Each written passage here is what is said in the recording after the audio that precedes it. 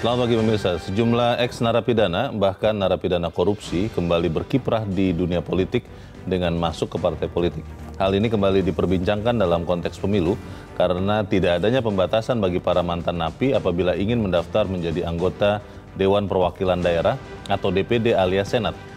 MK mengeluarkan putusan tentang pengetatan syarat bagi ex narapidana namun hanya berlaku untuk pencalonan anggota DPR dan DPRD. Pemirsa nilai editorial Media Indonesia edisi hari ini Selasa 24 Januari 2023 dengan tema Karpet Merah Ex Napi Masuk Senat bersama saya Lona Samosir.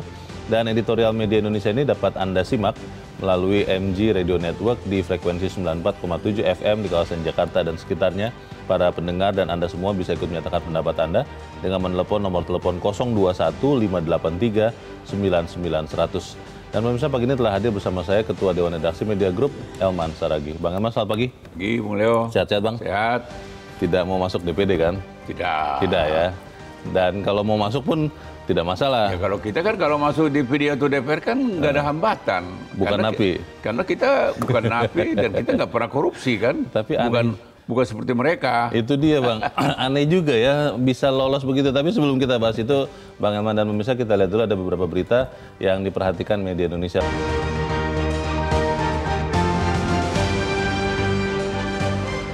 Terima kasih pemirsa Anda masih bersama kami di Editorial Media Indonesia dan sebelum kita berdiskusi Bang Elman kita mau coba bertanya dulu. Kita sudah tersambung lewat saluran telepon dengan Dekan Fakultas Hukum Universitas Jember, Profesor Bayu Dwi Anggono. Prof Bayu, selamat pagi. Selamat pagi, Mas Leo. Ya, Prof Bayu, ini eh, banyak orang bertanya-tanya kenapa kemudian ketika ex eh, napi koruptor itu dibatasi betul untuk masuk DPR dan DPRD, tapi untuk masuk DPD tidak dibatasi pembatasan yang sama ya. Bisa dijelaskan ini kira-kira kenapa ya, Prof? Ya, jadi kan ada satu uh, putusan Mahkamah Konstitusi terbaru ya pada November 2022 kemarin.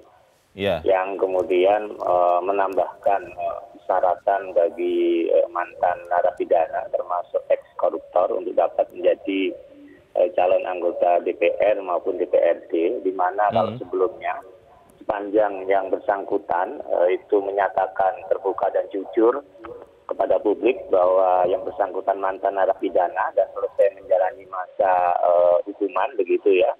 Yeah. Maka kemudian dengan putusan MK yang uh, terbaru masih ada harus melalui masa tunggu selama lima tahun ya setelah yang hmm. bersangkutan menjalani masa pidana.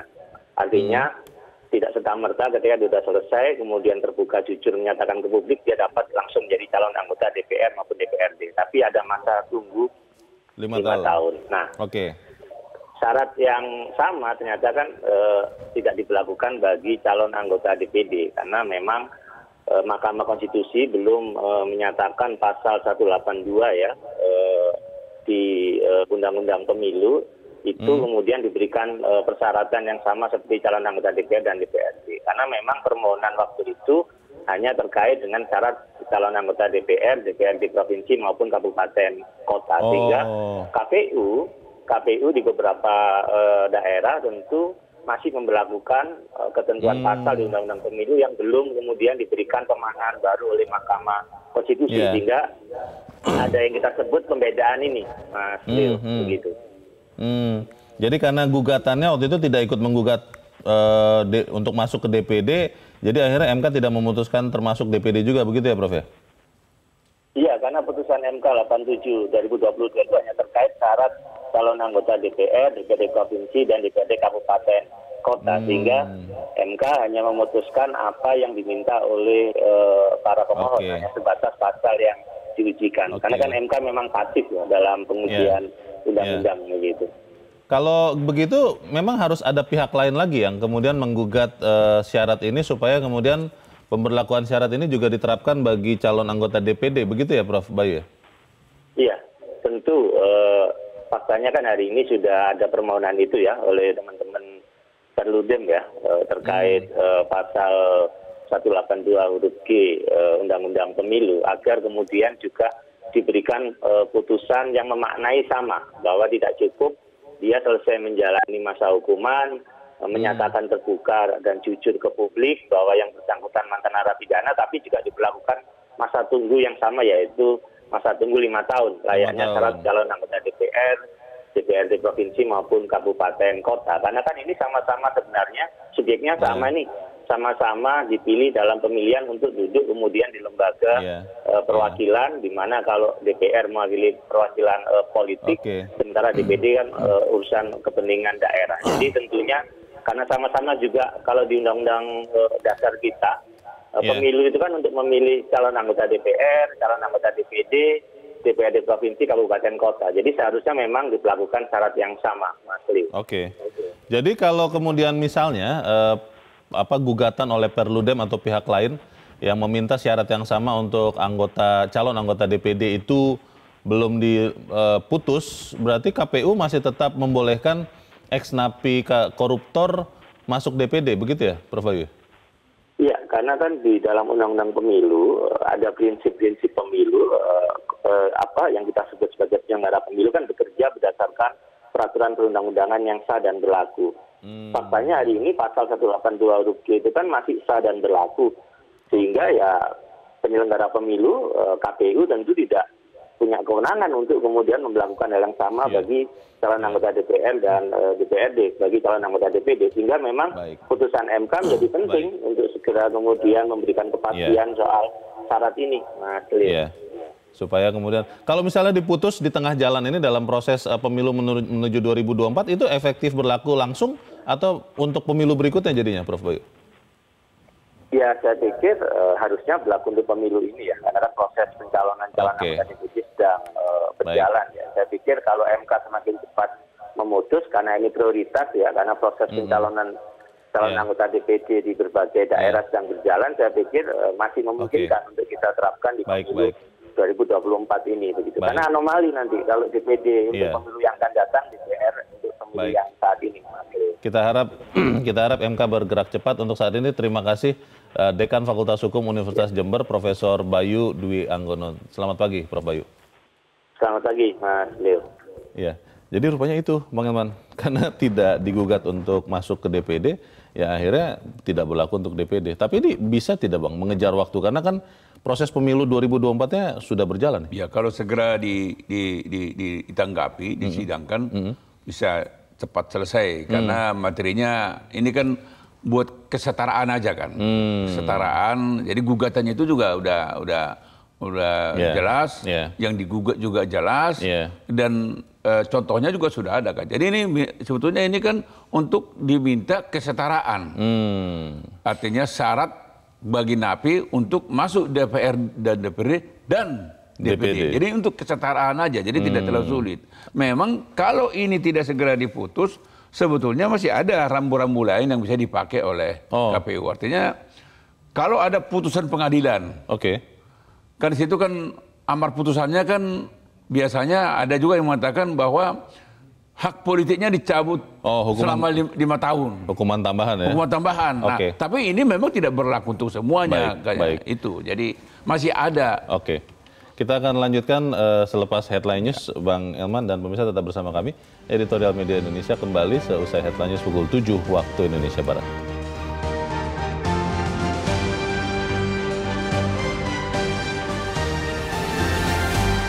Terima kasih pemirsa masih bersama kami di Editorial Media Indonesia dan sekarang eh, sebelum kita lanjutkan diskusi Bang Elman kita mau mendengarkan dulu suara dari pemirsa Metro TV. Kita saat ini sudah terhubung dengan pemirsa Metro TV di Batam, Kepulauan Riau. Ada Pak John Veto. Pak John selamat pagi. menangis.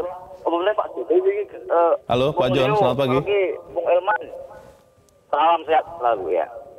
Salam sehat, Pak. Ini saya agak senyum senyum, senyum simpul juga saya apa yang dibedah oleh editorial begini. Karpet merah, Kenapa, ex napi masuk sana. Hmm. Agak aneh juga uh, uh, Bung Leo be- kebelakangan Hmm. ini. Ya, bermacam-macam apa, bingung juga kita terjadi ini. Kemarin Oke. ini ada yang tahu apa juga di editorial ya, membendung eh, apa koruptor berulah, ada benar-benar juga. Artinya ada putusan MK nomor 87 itu kan, khusus di DPR dan DPR RI. DPRD, Ah, Yang ya. ini kan produknya sebenarnya ada sama. Ya, ya, Ini kan cuma ya. memang saya agak, agak apa juga kemarin kurang minat untuk DPD. Siapa bilang kurang minat untuk DPD? Untuk DPD. Coba bayangkan. Ya. 34 provinsi itu, DPD itu cuma 136 orang, Bung Leo. Hmm. Kan empat orang aja eh, senator itu. Nah, ini sekarang mulai muncul lagi nih. Yang dia boleh lenggang kangkung misalnya kan, tapi jadi bingung juga kita. Ya. Ada apa ini? Apakah Oke. ini efeknya apa? Untuk Ya. 2024 ini kan bermacam-macam ragam ini. Oke. Mengapa? Tadi- Mengapa akan memesongkan pemikiran kita? Tadi sebetulnya sudah dijelaskan Pak John oleh eh, Profesor Bayu ya dari Jember yang mengatakan bahwa eh, MK memutus bahwa syaratnya itu hanya untuk DPR dan DPRD karena memang yang menggugat itu hanya menggugat untuk calon anggota DPR dan DPRD karena tidak digugat juga DPD akhirnya ya MK tidak memutuskan. Dan sekarang sudah ada pihak lain yang sedang menggugat soal ini. Tapi kita nanti tunggu ya sama-sama seperti apa kelanjutannya. Untuk saat ini terima kasih Pak John Veto. Eh, pendapat Anda dari Batam Kepulauan Riau. Selamat pagi Pak. Pak John. Di belakang Pak John ada Pak Sukarwan di Temanggung Jawa Tengah. Pak Sukarwan selamat pagi. Ya, selamat pagi Bang Leo, selamat pagi Pak Saragi, selamat pagi Metro TV. selamat pagi Pak Sukarwan. Silakan Pak pendapat Anda Pak Eh, mohon maaf, Bang, jelasnya itu temanya apa sih? Inti temanya apa? Saya tanya dulu. Oh, ini karena kita melihat bahwa ada apa ya kelonggaran karpet merah itu artinya maksudnya disambut begitu untuk ex napi koruptor masuk ke DPD pak, masuk senat itu maksudnya DPD. Menurut anda seperti apa Pak Sukarwan? Ya, orang masuk penjara itu bukan akhir segalanya ya. Artinya Oke. begini, ketika Muhammad Ali disuruh wajib perang, wajib militer tidak mau, Muhammad Ali dijebloskan ke penjara.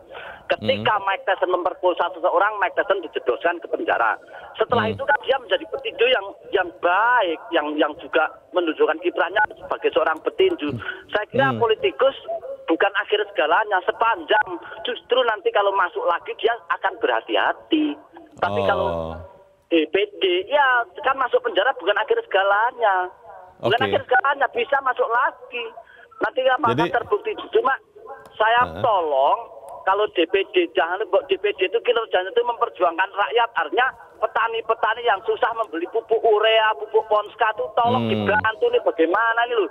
Iya, Kelabaran petani di desa-desa itu mau pupuk jagung, mau pupuk padi, nggak ada pupuk, Baik. punya uang mau beli pupuk nggak ada pupuk. Baik. Tolonglah ini dibantu. Dulu aja, Oke. makasih. Terima kasih Pak Sukarwan di Temanggung Jawa Tengah untuk pendapat Anda Pak. Selamat pagi. Agak berbeda nih Bang Elman bahwa Pak Sukarwan mengatakan orang masuk penjara bukan akhir segalanya. Kalau saya mungkin menyimpulkan apa yang dimaksud Pak Sukarwan, ya sebenarnya kalau mantan narapidana korupsi, ya bolehlah masuk DPD asal kemudian meningkatkan kiner- kinerjanya. Bagaimana Bang? Ya, itu kan itu kan kalau Kalau ya, kalau kalau bertobat. Ba- bagaimana kalau kalau tidak kalau? Artinya tidak ada pertobatan kan? Mengulangi lagi. mengulangi lagi kan? Kan nggak ada jaminan. Dan di situlah diperlukan ada jeda waktu. Lima, tahun, tadi. minimal. Ya. jadi kita akan melihat selama lima tahun itu kan? Mudah-mudahan di situ dia ada waktu berenung untuk bertobat bahwa perbuatan dia tidak pidana korupsi yang pernah dia lakukan itu Iya. dia sesali Iya. dan dia berusaha untuk tidak lagi mengulangi perbuatan yang sama kan itu itu pentingnya jeda lima tahun. Iya. Yang kedua juga memang ya kita tet- kita jangan disalahkan juga masyarakat meragukan integritas Hmm. ex napi, apalagi napi koruptor kan. Jadi Iya. nggak bisa kita salahkan ada keraguan masyarakat terhadap integritas ex napi ini bakal betul-betul bertaubat kan gitu kan. Iya. Jadi tidak mudah. Bahkan kalau logika kita, logika sehat kita sebetulnya mengatakan seluruh ex napi terutama dari koruptor ini memang mestinya diharamkan Masuk untuk lagi. Masuk lagi ya apakah dunia politik, Pejabat publik ya. Hmm, pejabat publik lah gitu kan. Dan itulah ganjaran yang dia harus bayar gitu kan. Hmm. Karena dia sebetulnya tidak bisa tidak tidak nyaris tidak bisa sama lagi dengan Iya. mereka yang tidak pernah melakukan perbuatan tercela Iya. kan gitu. Jadi Iya. masa sama sih? Hmm. Tanya dia korupsi katakanlah 10 triliun. Uh. Ya, kan Nah kan ini kan kita lihat ada Jiwasraya itu Oh, iya. sampai 28 triliun. Iya, puluhan triliun. Bahkan ada puluhan triliun. Iya. Jadi Iya. mestinya mereka-mereka ini memang nggak nggak nggak bisa kita salahkan ketika kita meragukan Hmm. bahwa dia bakal kembali bertobat gitu kan. Iya. Wajar dong, Iya. nggak bisa kita salahkan gitu kan. Bang, tapi kan di dalam proses ini kan eh, di dalam editorial juga dikatakan akhirnya ada pihak lain Perludem dalam hal Ada. ini menggugat supaya syarat yang sama juga diterapkan untuk Ya, masuk supaya di- DPD. di- di- ada kesetaraan. Betul. Nah, tetapi kalau sampai ini kan ti- tidak lama lagi, Bang. Bahkan Ya. proses pemilunya sudah berjalan. Dalam pen- proses itu di belakang atau setelah pendaftaran calon, itu apakah kemudian nanti perjalanannya orang-orang yang bekas eh, koruptor masuk atau mencalonkan diri ke DPD sudah diterima KPU karena misalnya belum ada putusan MK, di perjalanan ketika MK memutus oke ini syaratnya sama di- diberlakukan untuk calon DPD apakah kemudian nanti harus dibatalkan oleh Nggak KPU bisa. tidak bisa, bisa nggak bisa. Jadi kalau sudah melewati ini kan Hmm. tahapan tahapan pemilu kan sekarang sedang berjalan nih. Iya iya. Ya memang belum ada pendaftaran ya. Mm-mm. akhir tahun inilah kurang Ah, lebih iya, ada iya. ada belum pendaftaran. ada pendaftaran Calon-calon. calon DPD calon Iya. DPR kan belum ada yang terdaftar Iya. kalau misalnya sudah terlanjur daftar pendaftaran dan menjadi dari calon sementara menjadi calon tetap dan sudah diputuskan iya kemudian baru putusan MK putusan MK ada, ya logika sehat kita mengatakan itu akan berlaku untuk 2029 pemilu berikutnya pemilu berikutnya. Oh. Karena dan nggak ada yang nggak ada yang mau disalahkan. KPU juga tidak bisa disalahkan. Iya. Ya ya apa tuh ex napi itu pun nggak bisa disalahkan. karena undang-undang masih membolehkan ya dia bilang proses itu Ya peluangnya sama memperbolehkan apa Iya. yang saya langgar kan gitu kan. iya Ya kalau dikatakan kau mau bisa bertobat enggak? Saya akan bertobat. Dia bilang gitu. Semua orang pasti bilang Semua begitu. orang akan begitu. Iya, gitu. iya. Nah ini ini ini ini memang dilema sebetulnya. Iya. Nah inilah kita harapkan. Ini kan kan sudah ada apa gugatan untuk uji material kan Iya. dari Perludem kan. betul Apa perkumpulan pemi, untuk apa, pemilihan pemilu dan pemilu dan demokrasi. demokrasi kan. Nah, Iya. Mudah-mudahan gugatan mereka ini Hmm. segera disidangkan di Mahkamah Konstitusi dan segera ada keputusan. iya Jadi ada kejelasan Iya. boleh atau tidak boleh kan gitu kan. Iya. Kita kan kita kan juga tidak tidak ujuk-ujuk langsung kita bilang pasti tidak boleh oh pasti akan setara kan gitu kan. Itu dia. Ya kita kan nggak tahu kan. tergantung putusan Harapan kita memang uji material yang yang dilakukan oleh Perludem ini Hmm. iya segera di direspon oleh Mahkamah Konstitusi dan diputus harapan kita disetarakan dengan syarat yang sama DPR dan terhadap DPRD. napi yang masuk yang calon untuk DPR dan DPRD. Dan kalau itu misalnya diputus sebelum pendaftaran, Bang, itu berarti langsung berlaku. Berlaku. Buk- nggak Ki- tidak menunggu Ya, pemilu kita berikut. lihat Oh. amar putusannya. Oh, Kan kita kan kalau MK Iya, bilang ini ada. Hmm. berlaku untuk 2029, ya KPU harus menyesuaikan dengan Mahkamah Konstitusi. tetap bisa terima nih berarti kalau misalnya berlaku 2029 mantan koruptor yang mau masuk ke DPD tetap boleh diterima. Ya, secara hukum kita nggak ada alasan untuk menolak. Legal tapi, formal boleh ya. Nah, legal formal boleh, tapi hati kita mengatakan ya aneh. Hmm. Kan aneh juga kalau DPR dan DPRD diberlakukan ketat, Iya. ex napi harus nunggu jeda lima tahun Iya. setelah selesai menjalani Lima tahun. lima tahun.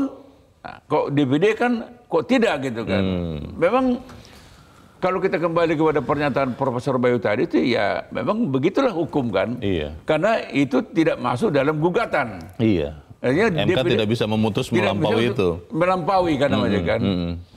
Ya, saya juga nggak tahu. Sekiranya Mahkamah Konstitusi tadinya Hmm. me- me- memperlakukan terhadap DPD, mungkin juga ada yang protes kan. Itu melanggar, Bang. Ya makanya Pak. Tetapi Iya. melanggar secara hukum, tapi aspirasi kita Terpenuhi. terpenuhi. Memang nggak layak Iya. ex napi, terutama napi koruptor, Hmm. masih diberi kepercayaan menjadi legislator, Hmm. senator. Menjadi pertanyaan juga adalah ini, Bang. Kenapa eh, pihak penggugat yang awal yang sudah diputus oleh MK tahun 2022 tahun lalu itu hanya menggugat DPR dan DPRD. Maksudnya calon DPR dan DPRD. Apakah kemudian itu artinya memang DPD ini tidak dianggap sama pentingnya dengan DPR dan DPRD yang akhirnya kemudian luput atau lolos dari gugatannya? itu bagaimana? Kita, Pak? kita mungkin harus menggunakan termino- terminologi mungkin dia lupa. Mungkin dia lupa. Mungkin dia lupa. Pasti dia lupa. Ah, pasti dia lupa. Ah. Tapi saya mengira dia tidak dalam posisi meremehkan posisi DPD. Hmm, karena sama tingginya Sama, kan? sama, sama, sama-sama lembaga tinggi negara. Iya. Dan dia tidak dalam posisi beranggapan bahwa DPD itu tidak ada gunanya kan? Hmm. Iya. Tidak. Menurut saya, saya membuang jauh pikiran itu. Iya, Jadi iya. dia mungkin kelupaan atau memang selama ini yang dia anggap betul-betul apa eh, diharapkan untuk bisa mewakili rakyat Iya. hanya DPR sama DPRD, padahal ada DPD kan. Tadi seperti kita lihat dari dari Temanggung kan, Iya, Pak Sukarwan. Mas Soekarno kan dia bilang, "Ah, tolong dong ini Iya. nasib petani, Bantulah. bantulah. Pupuk, Ah, benih. kan, berarti kan menurut saya sih Berharap betul. Suka- Sukarwan ini tidak sendirian. Iya. Ada juga Sukarwan-Sukarwan di, Iya. di kampung kita di Samosir. kan gitu. Ada juga Sukarwan-Sukarwan yang ada di Papua sana kan. gitu Iya, kan. yang berharap kepada DPD Nah, sebetulnya. ternyata kan hipotesanya Bung Leo kan terbantahkan kan. Iya. Tidak ada tidak ada perasaan meremehkan. Iya. Ya perkara memang mereka belum optimal ya salah mereka. Kalau misalnya Bang, eh, MK eh, memutusnya kembali tadi ke skenario awal setelah pendaftaran ya. Maksudnya sudah keburu didaftarkan, sudah masuk daftar eh, calon tetap DCT. Kemudian eh, tetap tidak ada putusan untuk menyetarakan calon anggota DPD. Boleh tidak misalnya KPU mengeluarkan peraturan untuk memberikan informasi bahwa calon anggota DPD ini adalah ex napi atau ex napi koruptor di, di dalam keterangan tambahan misalnya apa di daftar eh, calonnya yang bisa dilihat masyarakat itu boleh tidak dilakukan oleh KPU Sepanjang landasan hukumnya ada kan kan boleh kan PKPU itu kan harus ada pijakannya kan. iya ya harus ada cantolan Ada un- ya. ada cantolannya. Iya. Kalau dalam undang-undang pemilu itu tidak diatur, tidak boleh tidak boleh. Oke. Kan KPU itu kan Iya. dalam membuat turunannya Iya. namanya PKPU tetap ada undang-undang menjadi acuannya kan. Oke, kita nanti akan memberikan informasi ataupun saran bagi masyarakat untuk melihat kondisi ini. Tapi kita harus jeda dahulu. Bang Eman dan Mirsa tetap bersama kami. Editorial Media Indonesia segera kembali.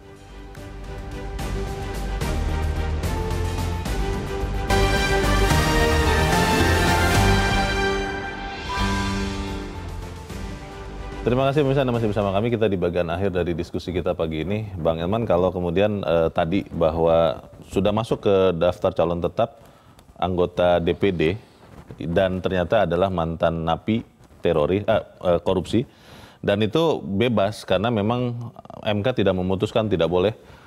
Yang harus dilakukan masyarakat apa bang? Karena tadi saya tanya ke bang Elman, KPU tidak bisa membuat aturan keterangan tambahan begitu. Bagaimana bang?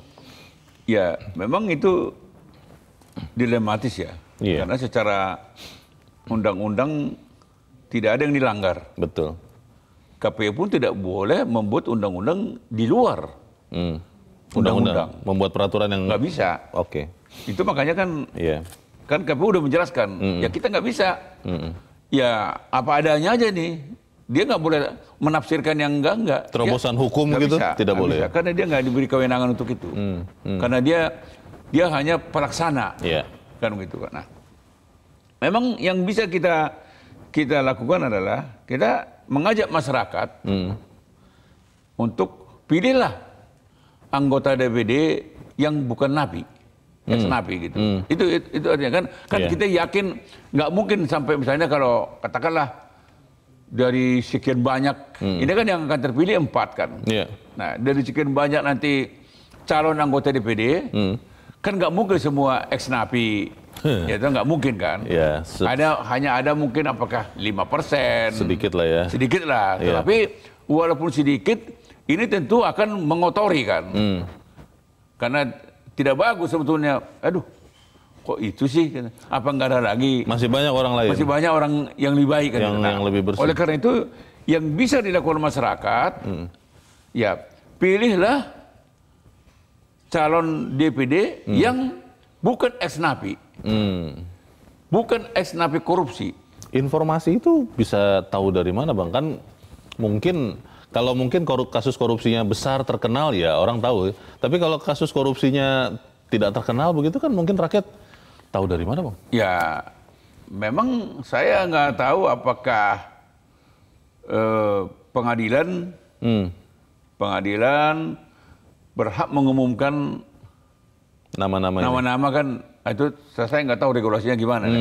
Tetapi sebetulnya kan ketika calon anggota DP ini meminta surat kelakuan baik Oh iya, kepada Polri, kepolisian. nah di situ kan Ada juga Ada. ya kesempatan ya kesempatan kan gitu untuk kan. menyeleksi. untuk menyeleksi kan Calon anggota Ya. DPD ini, Ya, ya. memang eh, tidak mudah sih. Tapi Iya. kan menurut saya sih katakanlah misalnya yang namanya yang yang berbau itu kan Hmm, seberapa kuat pun kita menutupinya tercium juga. tercium juga gitu kan. Nah, mungkin ada yang betul-betul lolos, Iya, tapi nggak mungkin semua bisa Lolos. Tapi oleh karena itu, ya masyarakat ya pandai-pandai lah mencari tahu Hmm. siapa calon anggota DPD yang mewakili provinsi dia. iya, iya. Kan kan kita kan mudah kan? Betul. Hanya Jumlahnya sedikit lah. cuma sedikit kan. Dan itu biasanya dari mulut ke mulut. Eh, Iya. ini Leo Leo Samosir ini ex napi korupsi 5 triliun kan gitu kan. Jadi pasti akan apa kan? Iya. Mudah-mudahan hanya itu yang bisa kita lakukan. Kalau kita harapkan kepada mantan napinya untuk tidak mencalonkan sebagai anggota DPD bisa tidak tuh bang? Ya itu kan emangnya dia malaikat. Oke. Kalau kalau ada pikiran itu Leo iya. dari dia, Iya, dia pun tadinya tidak melakukan korupsi. harusnya. Tapi ya. karena dia memang selalu ingin Iya. menjadi orang yang baik, Iya. tanda kutip, Iya. ya makanya apa? Baik. Jadi kalau menurut saya sih harapan kita itu aja. Iya.